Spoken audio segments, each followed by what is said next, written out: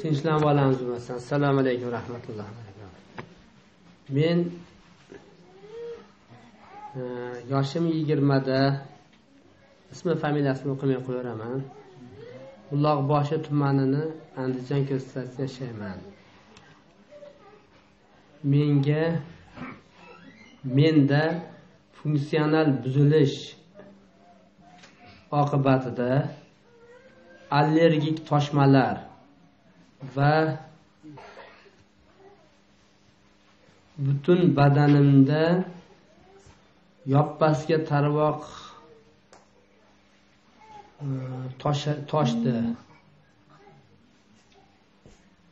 Qolaversa boshimni ayrim joylarida sochlarim to'kildi.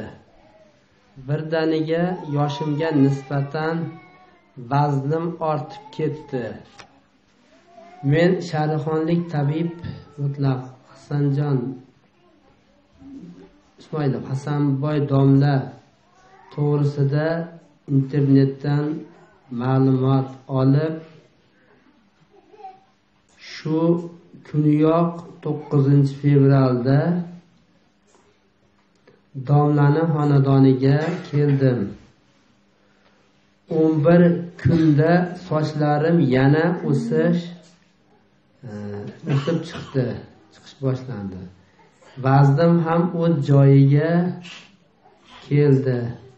Kasalliklardan butunlay xalos bo'ldim. Menga ilohiy tavobat bilan ollohdan ko'plar qatori menga ham shifo tilab bergan ko'plarni dardlariga darmon bo'lgan kasallikni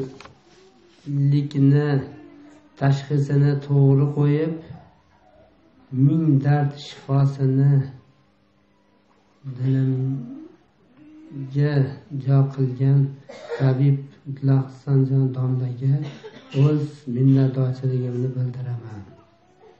Bugungi kunda chorasiz qolgan dardmandlarga ollohdan shifo so'rab bergan domlani olloh yuzini yorug' qilsin. Elga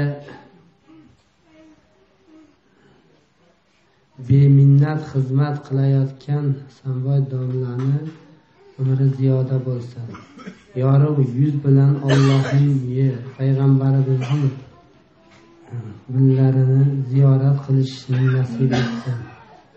Boradigan yo'lingiz oq yo'l bo'lsin. Uchinchi mart ikki ming o'n sakkizinchi yil. Alhamdulillah endi bu kasallik yengil hisoblanadida allergik deganlari tashxisini qo'yishga qaraladi tashxisiga qarab turib aytiladi bu tarvoq toshishliklar uncha muncha sochdagi to'kilish holatlari har xil mayda chuyda toshmalar bu ozgina qondagi buzilishlik. Jigar qoratalada ozgina buzilishlik. Bu narsalar bartaraf qilinishligi bilan tezda joy joyiga tushib ketadi. Endi bilasizlar biz mana doim gapiramiz. Bizda birinchi yaxshi bo'ladigan narsa xudo xohlasa qon. Qon o'zini tezda normaga ushlab oladi keyin organizmdagi holatlar bilan kurash boshlanadi.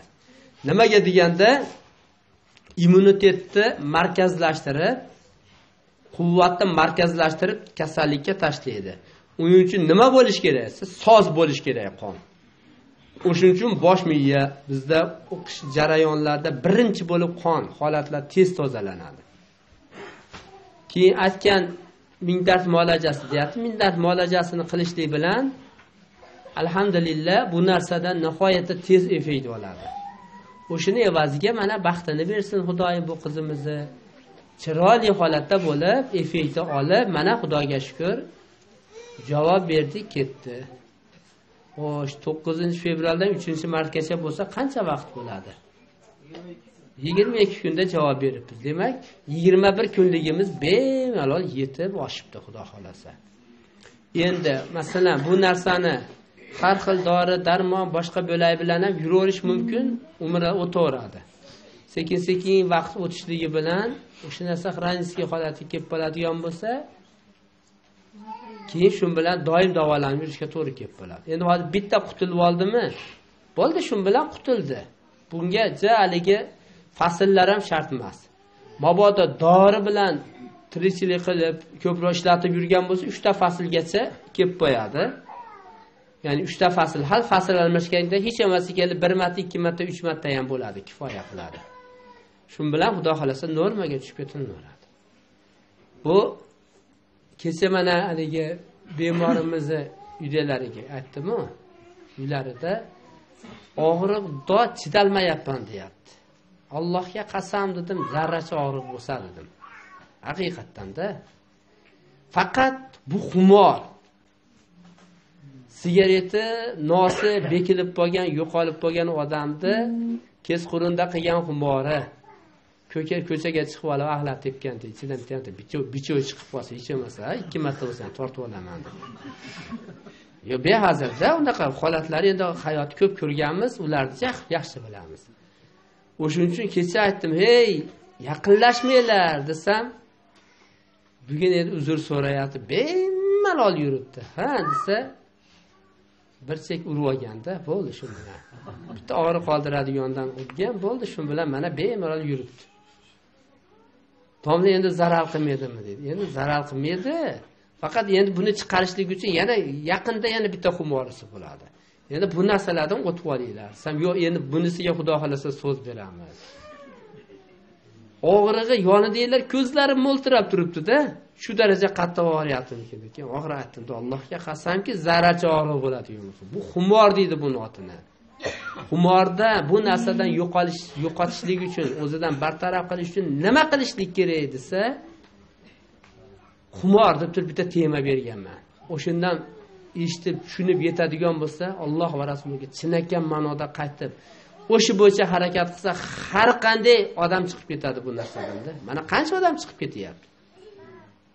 Qancha qancha gen dorilardan chiqib xursand bo'lib ketishyapti.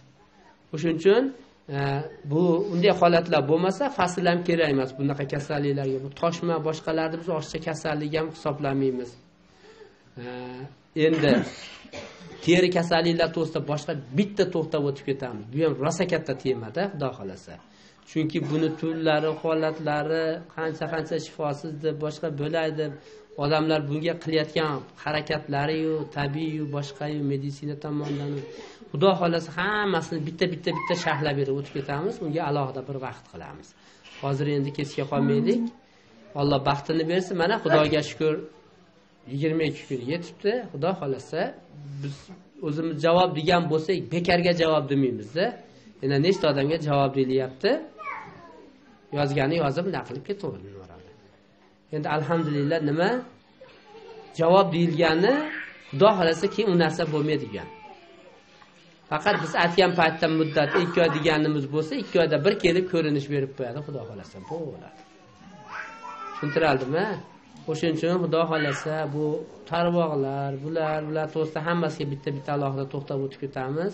Xudo xohlasa endi eng asosiysi ana shu mindard muolajasini qo'llashlik bilan xudo xohlasa har qanday kasallik efirni olib ketaveradi. Chiroyli holatda inshaalloh bu hayot dunyoga nimaga? Ollohni vojibidan foydalanyapti.